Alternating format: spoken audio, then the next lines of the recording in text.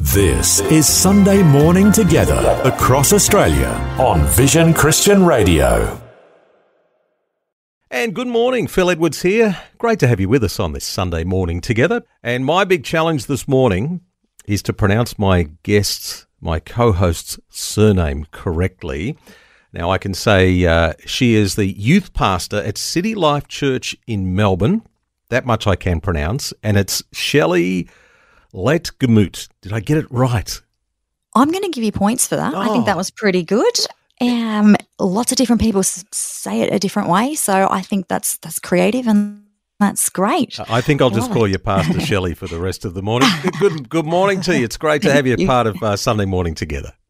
Thank you. It's a privilege and an honour to be here with you today. Now you're a special breed, youth pastors.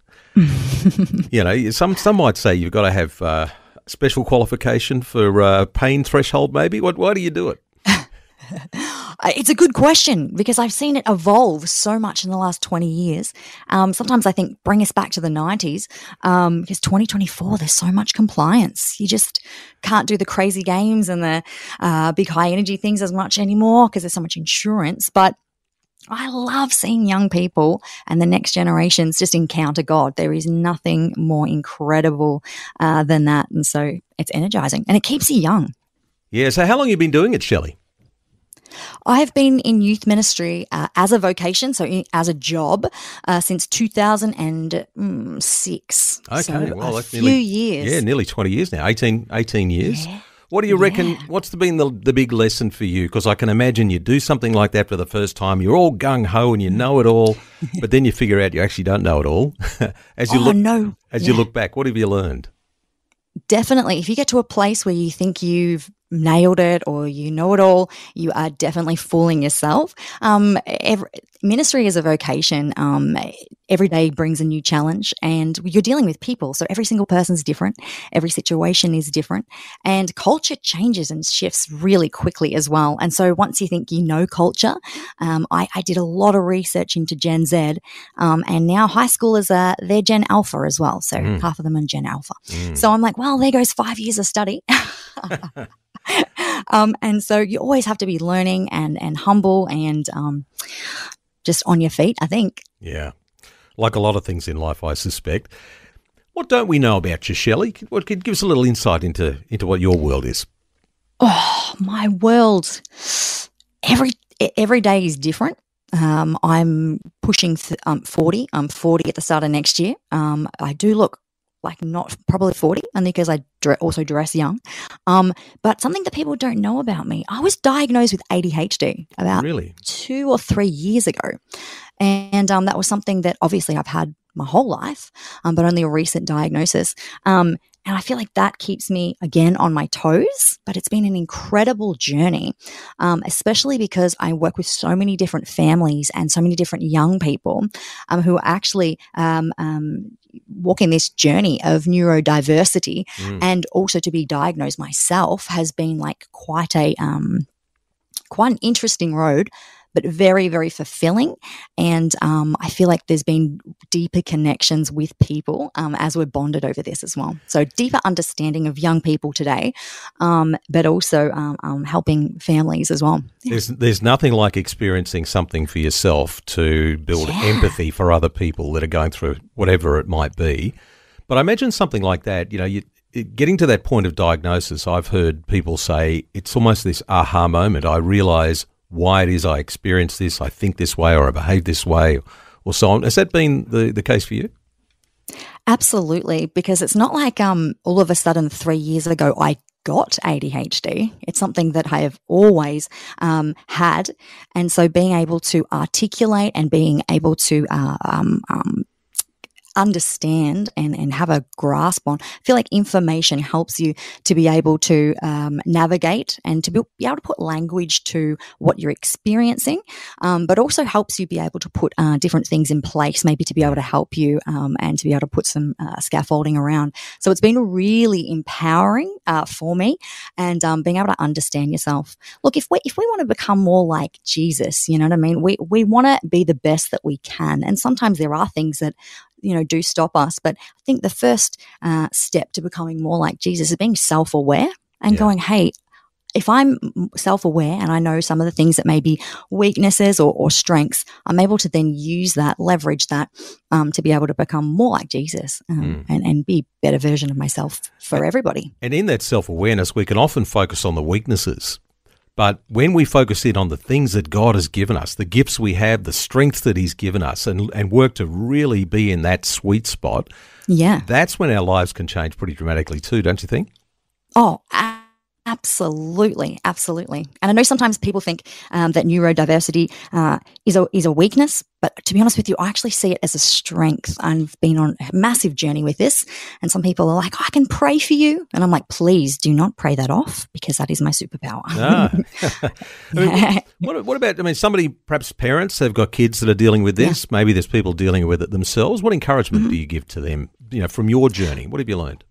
Yeah, I think it, it's about every every single person would express it a little bit differently. I'm hyperactive, and so understanding what uh, your ADHD, I guess, symptoms or, or how it how it comes out, um, and then being able to put things in place that can help you on, with your daily routines or whatever, but also being able to harness what you are good at. So for mm. me, being hyperactive active, um, I can read really fast, or I can, sorry, listen on double speed. I can um, multitask. Like no one's business. Um, but then I also can't sleep.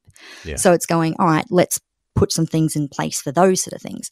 Um, so I think it's empowering to be able to understand yourself and then be able to have tools to be able to self regulate and to be able to um, navigate life. But it's so empowering when you have those tools and that understanding. So I would um, encourage them to keep going um, um, and see it as a strength. Um, if you have a diagnosis, you have a um, like a, a like a, a, a, an instruction manual, and so it's really it's so much easier. Yeah. yeah. This is Sunday morning together, and very shortly we're going to take communion together. Pastor Shelley gets to lead us in that real soon. But just personally, how do you prepare yourself toward communion, Shelley? That's a good question. I think for myself, if I'm um, leading communion, that's very different. That that takes sometimes even a week of me thinking about what to say. But in terms of just coming to communion, um, I really just it's a, an amazing opportunity to focus my attention back on Jesus and making Jesus and His sacrifice the main thing, um, and just you know really preparing my heart to say hey strip everything else back and just focus on on on jesus's sacrifice just in this in this um moment and season yeah mm. Well, we get the opportunity to do that together in just a little while. So, well, now's a good time if you can prepare some elements, uh, some bread and a cup to take part in communion together. We'll do that very soon. Sunday morning together across Australia on Vision Christian Radio. Well, today I want to read from 1 Corinthians chapter 11 and it's verses 23 to 26. And this is the NIV. And Paul writes, For I have received from the Lord what I also passed to you. The Lord Jesus, on the night he was betrayed, took bread, and when he had given thanks, he broke it and said, This is my body, which is for you. Do this in remembrance of me. In the same way, after supper, he took the cup, saying, this cup is the new covenant in my blood. Do this whenever you drink it in remembrance of me. For whenever you eat this bread and drink this cup, you proclaim the Lord's death until he comes. And as we gather for communion today, we part- we are participating in something sacred and so profound. And this simple act of eating the bread and drinking from the cup is so much more than just a ritual. It's a powerful reminder of the most significant event in human history the sacrifice of Jesus on the cross. When we take communion, we are remembering that Jesus gave his life for us. He took our place, bearing the weight of our sins on the cross, so that we could be forgiven and restored into right relationship with God. The bread represents his body, which was broken for us. The cup represents his blood, which was poured out as a sign of the new covenant, a new promise from God. And through Jesus' death and resurrection, we are no longer bound by sin, but we are made new in him. And when we take these elements, we do so in remembrance of, the, of his incredible sacrifice, and we reflect on the love that drove Jesus to the cross and the grace that continues to transform us today. But as we participate in communion, we are not only just looking backwards. Paul, the apostle, tells us that whenever you eat this bread and you drink this cup, you proclaim the Lord's death until he comes. Communion is not just about remembering the past, but it's also a declaration of hope for the future. We proclaim that Jesus, who died and rose again, is coming back. And this is where we find such a deep sense of hope. No matter what circumstances we are facing today, no matter what struggles, pain, or uncertainty in our lives, we can hold on to the promise that Jesus will return. The return of Jesus is the fulfillment of all that he has promised. A day when he will wipe every tear, heal every wound, and make all things new. And this is the hope that we cling to as we face the challenges of life. Sometimes it seems uh, it, it, it's, it's easy to feel overwhelmed by the difficulties we encounter, whether in our personal life or the world around us. But communion is a reminder that our hope is not in temporary things of this world, but in the eternal promises of God. Jesus will come again and his kingdom will be fully realized. But until that day, we live in the tension of remembering what he has done for us, but also looking forward to what he will do. His return is not just a distant uh, event to anticipate, it's the promise that sustains us now. It reminds us that even when life feels like it's falling apart, God is still faithful. His plans for us are still good. So today, as we take the bread and we drink from the cup, let us not only remember the sacrifice of Jesus, but also hold on to the hope of his return. Let us trust that he has um, he is with us. He's present with us in every season, whether we're walking through times of blessing or enduring really hard times of suffering. Let us proclaim with our hearts and our lives that Jesus is coming again, bringing with him the fullness of his peace, his justice, and his love. So let's eat together. Let's drink together. Let's pray. God, we thank you so much that you sent your only son to die in our place that we may have relationship with you. We thank you so much for this sacrifice of love and we thank you so much for the hope that you give us for the future. We thank you so much for your presence that dwells amongst us. And may we feel your peace that transcends all understanding. And may you comfort us no matter what season uh, we are in. In Jesus' name, amen. Sunday morning together across Australia on Vision Christian Radio. Thank you so much, Shelley, for leading us through communion. And you kind of stuck to the basics there of the scriptures. And I love that. I mean, sometimes we think we've got to do something grandiose but just go back to what the scriptures say. It's so good. Oh, I, I love it. Um, scripture is a passion of mine, and I know that it's that's a pastor has to say that scripture is a passion, but it really, yeah, I love it. Well, I'm going to ask you very soon if there's a particular mm. scripture that is meaningful to you, but just hold that yeah. for a moment because right now you get to choose the music, at least one song. The brief is something that is meaningful to you right now or is really speaking to you, or maybe it's an old favourite, but it's a song that you'd love to hear. So, what have you chosen? Sure. Um, Highlands Song of Ascent, and I think it's by Benjamin uh, Hastings and Hillsong United. Okay. I love that song. Okay, why? What is it about this song? This song just expresses such a commitment to praise God not just in the happy and the good and the joyful moments, but it's also a commitment to praise God during our difficult seasons and our challenging seasons and our hurtful and our painful seasons. And recognizing that God is constant, His presence and His faithfulness is constant in every season of life, that God is still good, God is still present, and God is still active. And I love the line where it says that no less God within the shadows and no less faithful when the night leads me astray. And it says, um, heaven is where my heart uh, is. Um, and it's like, you're the summit where my feet are. Mm. And it's like, it doesn't matter if it's on a mountaintop or a, a valley so low. If God's presence is there, that's where I want to be. Yeah, there's a wonderful story and pictures in this song. And it, it brings us right back to that place of, doesn't matter what's going on, we need to praise God. Uh, Absolutely. Love it. So thank you for choosing this. It's one that we normally wouldn't play on a Sunday morning, so we get to hear something a little different. uh, it is from United Highlands Song of Ascent on Sunday morning together on Vision.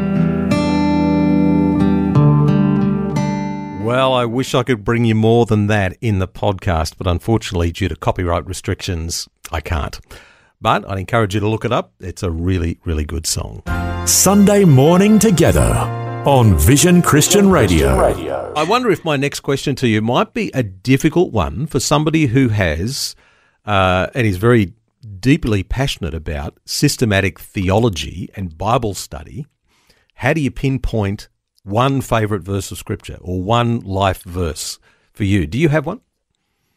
I do actually, and I would say it's Acts 1 verse 8 talks about when um, the holy spirit comes upon you um, you will yeah receive power and you will be witnesses for jesus Mm. um, from uh, jerusalem judea samaria and the ends of the earth and it I, I love it because it's this whole idea of encountering god for a purpose and that purpose is to reach out and it's not just reach out in jerusalem where there was a idea that that's where God's presence was. That's where God's presence um, would stay and would dwell. It's going actually God's presence is going to go with you where you go, Mm. and uh, taking it. And there's no limits to God's uh, uh, presence and and who God can reach, and we are actually empowered to do that, and that's exciting for me. So Acts one and verse eight. Wouldn't you love to have been Yes. there when when that happened? You know.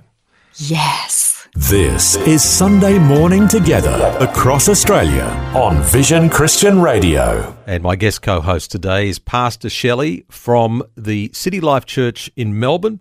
Big church, been around for a long time. But we want to talk about you this morning, Shelley, not so much the church. Time to do a little bit of storytelling now to find out who is this person. Everybody's got a story, and I often am amazed at some of the little gems that come along, particularly of how God has been at work in the lives of people. I'm sure there's some of those for you. But let's start at the very, very beginning. I understand that you're a, a country girl. Is that right? Ah, I don't know if it's classified as the country, but it's called Emerald in Victoria, and it, it is actually pretty bush.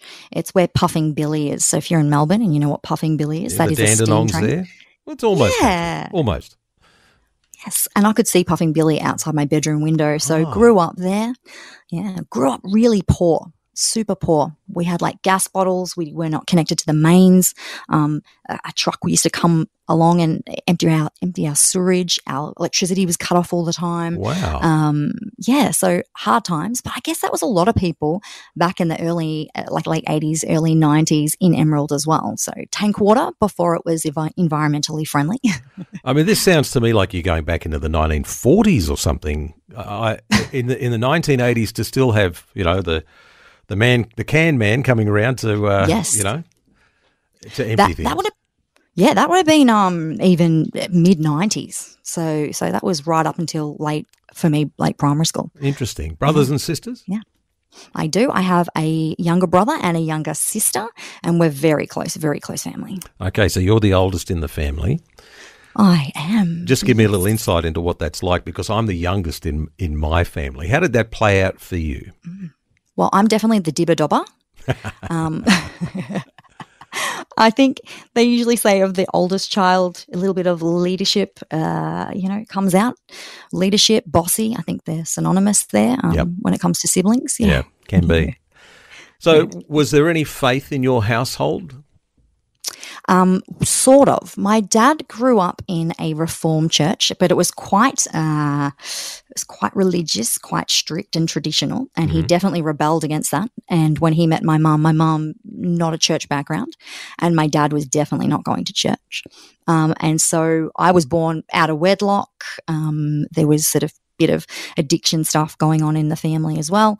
Um, but my parents did come to know Jesus, I think, uh, when I was about, I'm going to say about five, between the ages of five and 10. Okay. And I remember them saying, Oh, we're going to go to church now.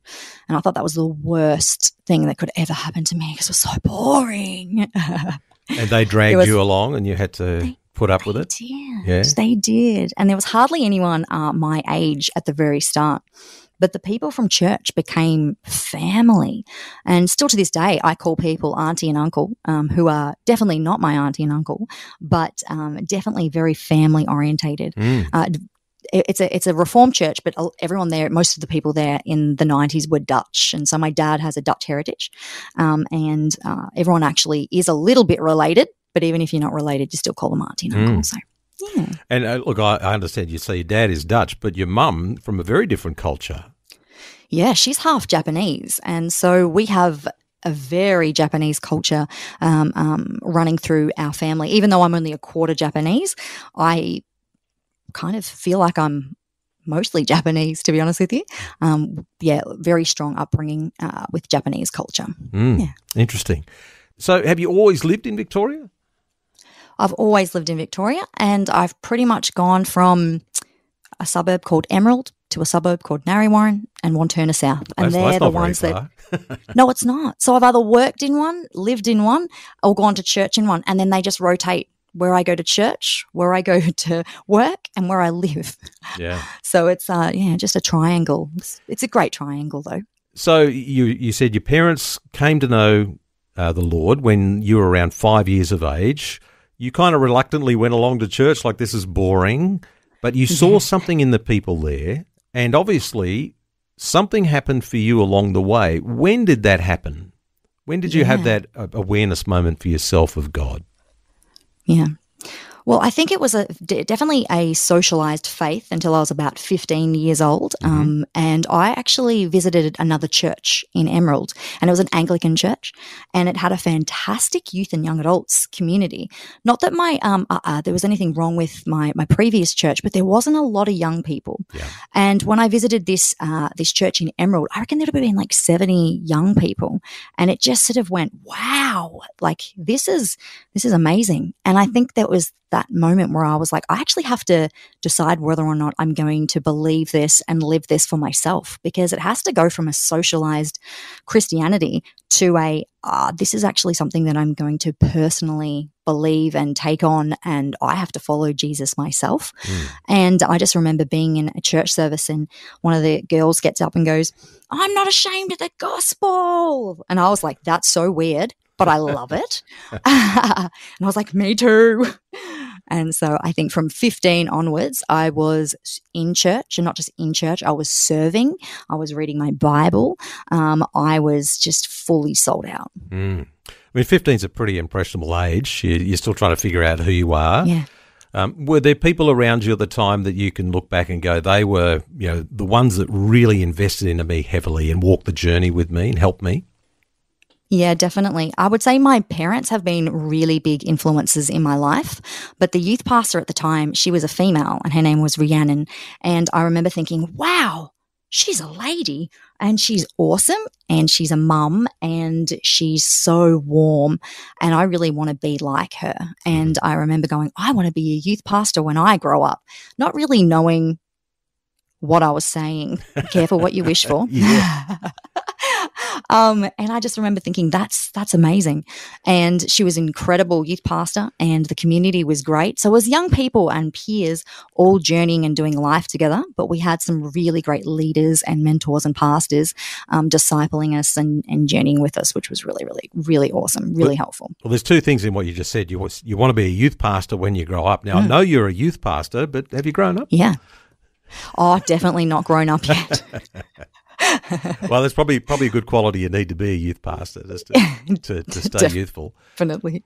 So you you went you've, since that time. So you're a youth pastor today, but as I look at your CV, there's some really interesting things on there that you went off and did a course of study and, and different things. How did you come to arrive at? I'm going to go in in this direction, particularly after you know praying that prayer of you know God, mm. I'd like to be a youth pastor, and you went and did something quite Yeah. different. Yeah. So when I was 15, I was like, I want to be a youth pastor. And I was a, a youth leader at that time. And I was youth leading all the way through uh, high school, all the way through university. I, I wanted to go to Bible college. And so I wanted to study um, through Moore College in Sydney. I was doing a certificate for, Mhm. um, but they actually wouldn't let me in because I was 17 when I started uni. And they're like, you haven't turned 18 yet.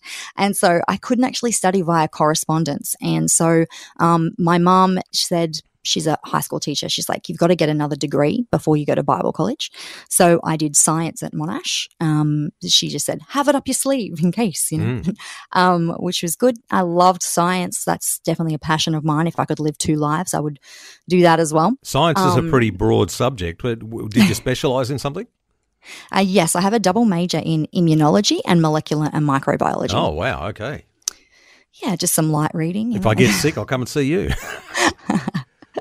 Well, it's interesting because that never used to come up in conversation. And then the pandemic happened, and I was like, whoa, Yeah. this is my area. Yeah. And then you're like, no, no, don't tell anyone that's your area. This is, you'll get cancelled. Yeah. So it was, uh, it was interesting. It was good. but so you, you did do the Bible college study. You ended up becoming Yes. a pastor um, eventually. How old were you when you started in pastoral work? Um, so I think I was 20 when I started as an, Wow. an- a paid intern, um, and that was in a young adults community. Um, and I was also running, helping run a schools ministry program. But I then did multiple roles. Like I did, um, I was a, a like admin, um, school high schools worker. I wrote some mentoring programs. Um, I I worked as a chaplain for a little bit. Um, I started, I think, my full time pastoral role as a youth pastor full time uh, in 2010. So that's about what, uh, 14 years ago. Mm. Um, yeah, but it's hard to get a full time role. It's really hard. So you're doing a lot of the time you're doing multiple different roles a couple of days a week, and I found that was quite t- challenging to balance. Uh, I think at one time I was working like three, maybe four jobs. Um, so landing an actual full time role was really, really was a blessing. But I had been studying theology since 2003, uh, part time, um, all the way until 2021, I think, um, over I think three or four different awards. Yeah, three, maybe three awards. Yeah. Sounds to me like you were really sort of throwing yourself into your your work, shall we call it, your ministry work, Yeah. uh, in your young, you know, sort of low twenties. Mm. Were there any young men that came along, you know, in that time that d- distracted you? Uh, there was actually. I wasn't. I wasn't super into heaps, heaps of different people. at the same- Like I, there was, there was definitely one, and I um, actually got married uh, in 2010, and it was the year that I studied. Uh, sorry, the year that I started full time ministry as a vocation. Okay. And so A lot of change. my life just yeah, a lot of change, but it just felt like life was life was good. I mean, there's always ups and downs. Um, but I just felt like in my early twenties, it's like you're invincible. Like, no, like this is amazing. Life is good. And life is good. Life is incredible. I think the more that the, the older I get, the more that I, I can say life is is good. But it's not without its major challenges. And um my husband and, and I at the time we were trying to have kids and there we just couldn't have kids. It Mm. would have been maybe three, four, five years, um, and we ended up going down the fertility uh, treatment uh, route and still not being able to have kids. And it was really devastating because we do go to a large church, and a lot of people keep asking, "When are you going to have kids? When are you going to have kids?" Yeah. And it was hard because, um, you know, we'll pray for you. And people are like, you know, I really see kids in your future. And you're like, oh, like, how do I tell them? I medically, this is, you know, God can do anything, but it just wasn't happening. Yeah. And um, in my seventh year of marriage, my husband actually walked out of our marriage. Oh no. And so I was divorced by 20, I think it's 2017 or 2018. Um, no, yeah, yeah, 2017, 2018. Um, and that was huge because I remember thinking, how did my life come to this? Because I'm a pastor, like, I've given my whole life to God and I've sacrificed so much stuff. And yet, you know, it just seemed to have all fell apart. I mean, no one's perfect, but, you know, I, I felt like I, I tried really hard Yeah. and it's still, you know, um, God, where are you in all this? And so there was this incredible journey of going, hey, um, I, I love God and I love my job and I feel called to do what I what I what I'm doing. But how do you walk that season um, so publicly with the whole church looking at you Yeah. while you're I'm- still maintaining integrity? I'm trying to put Um, myself into yeah. your shoes because you know here you are. Everybody's looking at you. You're in a leadership position, and this is Mm. something that shouldn't happen to people in leadership. And you would Mm. have a whole range of responses to that. I imagine some people probably wanting to support you, and other people that, that are there pointing their finger. How did you? Oh, how did yeah. you deal with that?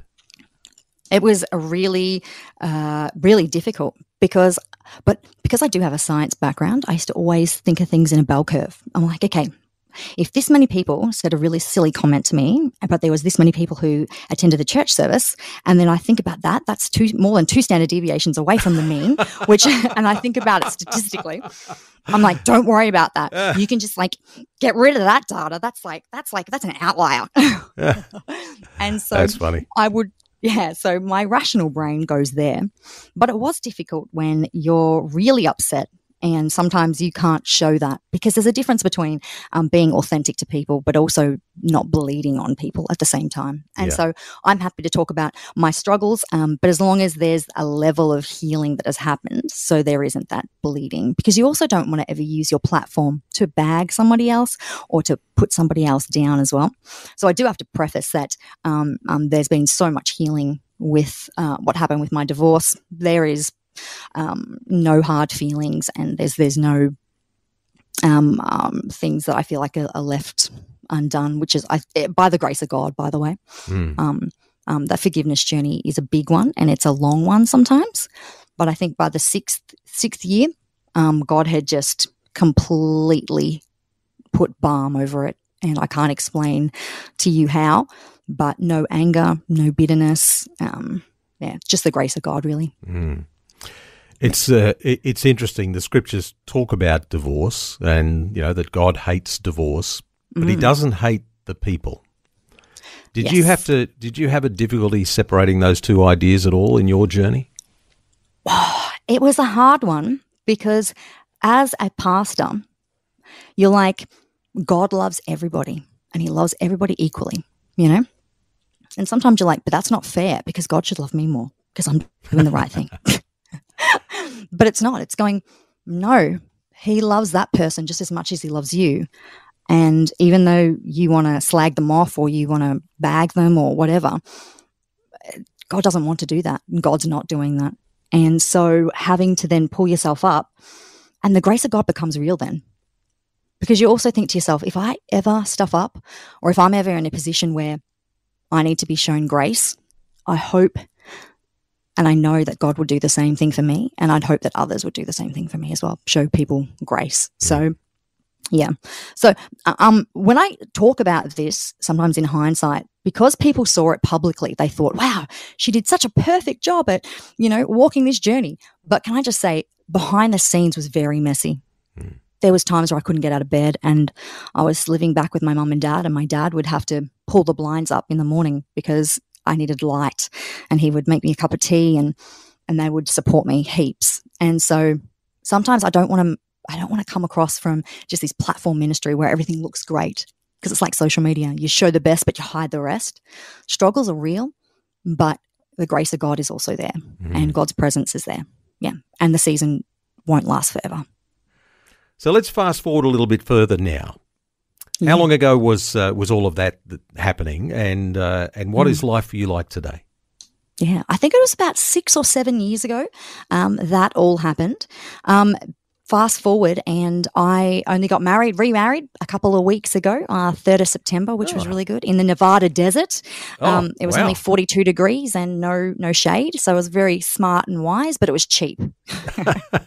Forty-two degrees. That's still pretty hot. I mean, you're talking It- Celsius, right? I'm talking Celsius. It was very, very hot, but it was cheap, and uh, it was like a mini elopement, which is beautiful. Okay.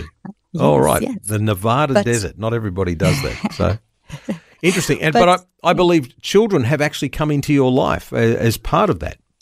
Yes. So I now have our two stepsons. They are seven and four, um, and it's it's funny because that whole journey of six or seven years of going through a very public divorce, having a lot of different opinions, people talking about, oh, like Job, God's going to restore you double, all this kind of stuff.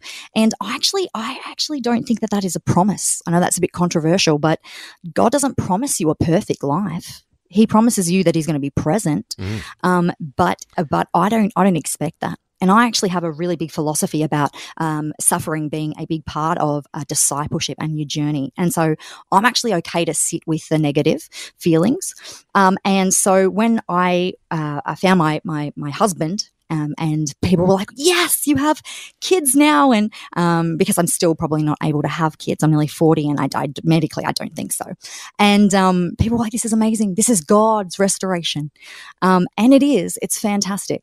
But with that still comes such levels of um, uh, messiness and, and mm. difficulty as well. And sometimes from the outside, it can look like everything's perfect, but it's sometimes it's just another mountain to climb. But through the times in my past where um, I've had difficulties, um, God has strengthened me. God has built in me resilience. And so when the next mountain comes along, I'm actually stronger.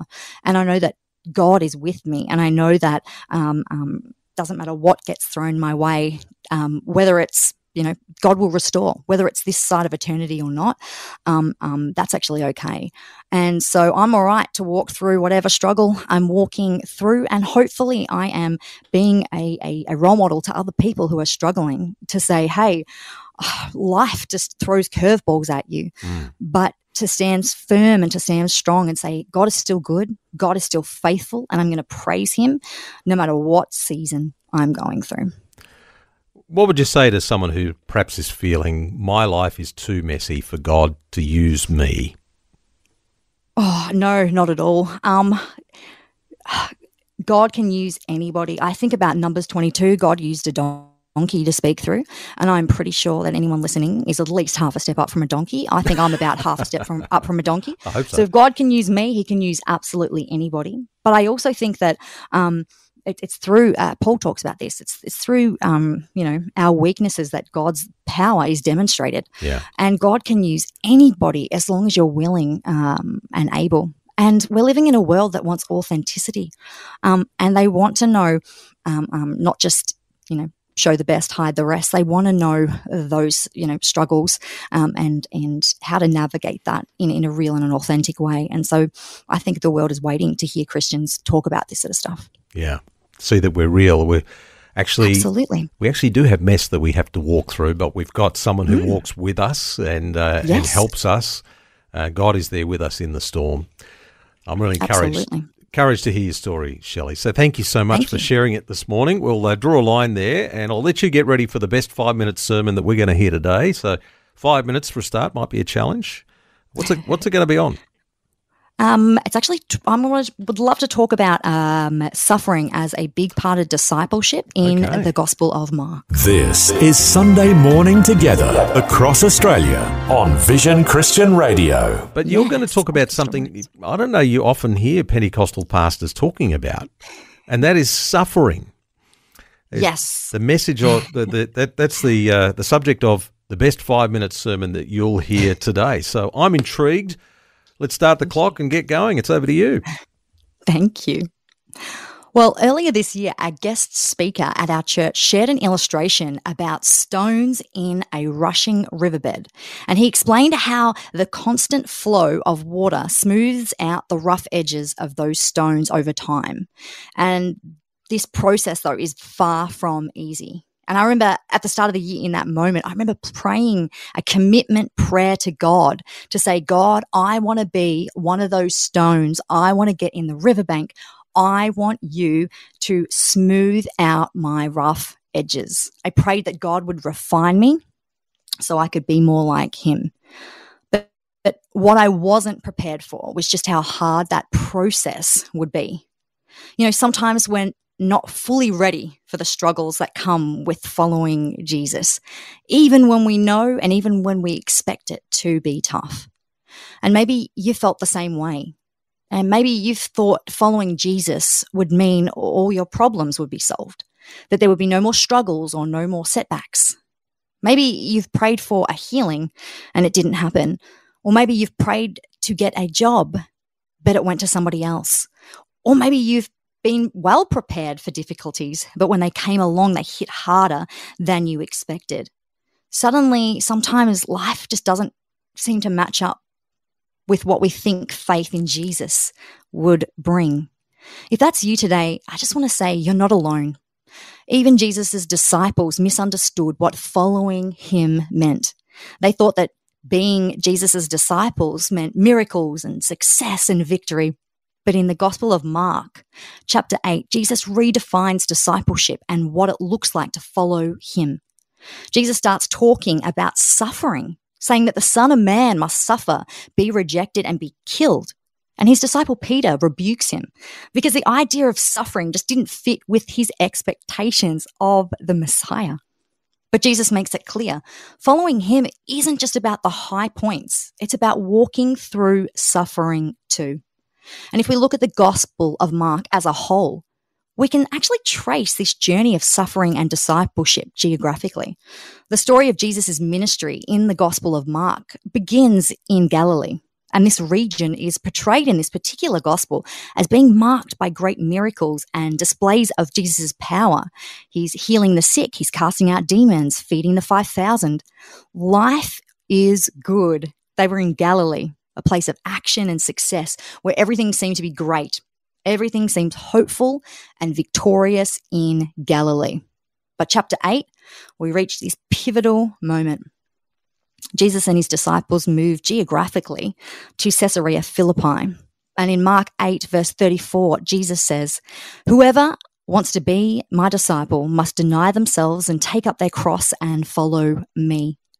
The disciples had seen great miracles in Galilee, but Jesus calls them to follow him to Jerusalem. Now, Jerusalem in this gospel is portrayed as a place of suffering, of opposition, of hardship. And here's that, uh, uh, uh and there's a reality of following Jesus. The reality is becoming clear. Discipleship isn't just about witnessing miracles and enjoying the good times. It's about walking with Jesus through the suffering journey. And maybe you've experienced a Galilee season where everything is going well. But maybe you find yourself right now in a Jerusalem season, struggling, maybe with an illness or a loss or even mental health challenges. Moments like these are incredibly difficult, but it's also in moments like these that we have the opportunity to be refined. As Romans 5 3 to 5 says, Paul says this. He says, We also glory in our suffering because suffering produces perseverance, perseverance, character, and character, hope. God doesn't waste our pain, He uses it to strengthen us, to refine us like gold in the fire. You know, when gold is refined, it is heated to extremely high temperatures until it melts. And at this point, the impurities or the, the other metals that are mixed with the gold actually rise to the surface and they are removed, leaving behind pure gold. You see, gold in its purest form is soft, which allows it to be shaped and molded easily. And when we go through trials and challenges, God allows our impurities in our hearts, things like anger, pride, fear, to surface. And these moments of struggle are opportunities for us to let God purify and shape us as these things rise to the surface we are, can ask God to refine our characters so we become more like Him, soft and moldable in His hands. The journey of discipleship through suffering leads to hope. Just as Jesus told Peter in Mark chapter 14, verse 28, Jesus says, After I have risen, I will go ahead of you. Uh, ahead of you to to Galilee. You see, Jesus promises to bring Peter back to the place of restoration, the place um, of, of power, the place of Galilee. And he walks with us through the hard times, but he also leads us back to a place of healing and a place of power. Whether it's this side of eternity or not, God is always faithful. And as we close, I just want to invite you to respond today. If you are in need of hope, please know that your Galilee is coming. Like Peter's discipleship journey, there is an opportunity to strengthen and to grow. Or if you're in a Jerusalem season and need strength to carry your cross, remember that you are not alone. Jesus is with you. And we would love to be able to pray with you right now. If that's you, I'd love to just be able to pray with you. Dear God, we thank you so much that you give us life. We pray for those, God, who need strength in Jerusalem seasons. We thank you for all kinds of seasons, and we thank you for your presence. But we also pray for your peace that transcends all understanding. In Jesus' name, amen. Sunday morning together across Australia on Vision Christian Radio. Shelley, now obviously you're the youth pastor there at City Life in Melbourne. It's a pretty big church in Melbourne, but you get around a bit and do other things as well. Just looking at, you've got a website here, ShelleySusanneMinistries.com. And yes. I'm guessing that must be your middle name, is it, Susanne? Yes, it is. Yes, it is. So, um, yeah, I just I go by that just so I don't know. In case I got married in the future and changed my last name again, I would, you know, have that portability. Have change my website. That's exactly right. but you you get around, you uh, you know, preaching mm. and teaching, doing seminars and, and so on. Mm-hmm. What what's your favourite experience out of all of that? What do you really really love doing?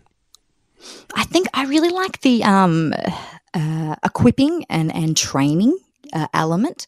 Um, it's it's one thing to have just head knowledge and a great God experience, like wow, that was a really good sermon. Oh, that was great. That encouraged me, and I, I I'm not taking away from that, but to be able to train and equip people. Um, so when you do actually leave, there's, you know, you've given them some tools uh, to be able to either replicate that or to be able to um, um, give them tools to be able to um, I don't know, build on their youth ministry or their church or some element of teaching. Um, I do a lot of things with mental health and also Gen Z um, and spiritual formation um, and lots of different Bible uh, teaching stuff. And so there's different areas, but the training and equipping part is my favorite. Mm. Yeah. Hands on ministry training. It's always great to help people and see them actually grow themselves. Yeah. I mean, you work yeah. a lot with young people. You just mentioned Gen Z. What do you reckon is the kind of the biggest challenge that young people are facing today? And then also, mm. what's the biggest potential that is waiting there to be released? Yeah. Well, I think the biggest challenge they're facing at the moment is definitely mental health. There's mental health struggles um, and challenges. And so having advocacy and safe places for people to be able to be real and authentic and to be able to support them um, is really is really massive. So my church is I'm really proud that our church has done a lot in this area. Um, there's a lot of work to continue to be done in my church as well, um, but we're at that level where we're now sort of helping train other churches and equip other churches, and that again is just exciting as well. And that's not to say we've got it all together. There's a lot of work to be done, and we could do things better. But I think it's it's seeing young people um, equipped and feeling safe in churches, especially if this is the biggest thing plaguing them yeah. But there's an incredible opportunity because Gen Z is so open. Um, World Vision and Barna did some research uh, just last year or the year before, and they were talking about and they named it the open generation. And although they might, this generation, Gen, Gen uh, Z, they might not um, identify with a religion, they are spiritually open and they are hungry. The harvest is ready. Um, and yeah, it, it's ripe and it's, it's people want to connect. But um, yeah, so it's, it's an exciting season. And I guess if there are people that are interested in, like, I want to do something, I want to work with somebody who's in mm. this space, you'd be a good one to talk to. Oh, I, I love it. I'll talk your ear off about it. I'm very passionate. well, Shelley Susanne Ministries, S H E L L E Y S U S A N N E Ministries.com. You have to have two names there. It could be spelled different ways. Yeah. Uh, but uh, that's the website. I'm sure if you just search for uh, Shelley Susanne Ministries, it'll come up with the right thing. But um, Thank you. Um, I'm sure Shelley would love to talk to you. Now, I wonder as we finish things off here this morning whether you might be willing to lead us in a prayer for our nation, and, and oh, perhaps perhaps particularly for young people. We've talked about some of the yeah. challenges that uh, young people are facing, but lots of people in our nation facing challenges. There's lots of things to celebrate as well. So, um, can you lead us? Yeah, I'd love to. Thank you.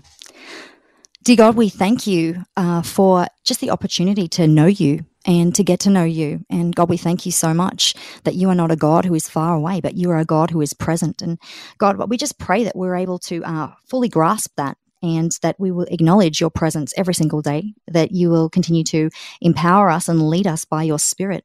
God, open doors of opportunity for us to be able to reach our communities and our cities and our nation, Lord Jesus, for you. And God, I just pray um, just a, a blessing on our nation. I just pray a blessing on our uh, next generations, on Gen Z, on Gen Alpha. God, I just pray for us as older generations um, to be able to have wisdom and discernment as to how to reach them. God, we know that you don't change, your message doesn't change, but our methods and, and how we uh, uh, communicate does. And God, we just pray for wisdom and discernment and how to do that and how to just continue to point people to who you are. God, we just pray um, that, um, yeah, pe- pe- we, we ought to be good reflectors of your love and your mercy and your grace. In Jesus' name, amen. Mm, amen. Great prayer. Well, thank you once again, Shelley, for spending some time Thank with us. Just uh, we pray a blessing over you, your uh, your new marriage, only now of what three weeks was Thank it? Uh, Yeah, and uh, in your in your work you're doing there at City Life Church in Melbourne. Thank you. God bless you, Thank you. and God bless you too as you go about your day, whatever you're up to. Have a great day. Thanks for taking time to listen to this audio on demand from Vision Christian Media. To find out more about us, go to vision.org.au.